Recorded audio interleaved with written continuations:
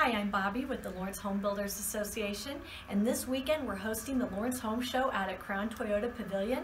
Our hours are Saturday from 9 to 5 and Sunday 11 to 4, and we'll be featuring over 60 exhibitors who have home-related products, and it's just a fun time to come out and get some ideas and talk to the experts about um, what your projects are or just uh, time to get outside in the cold weather and, and move around a bit. So come on out to Crown Toyota for this weekend and we'll see you at the home show.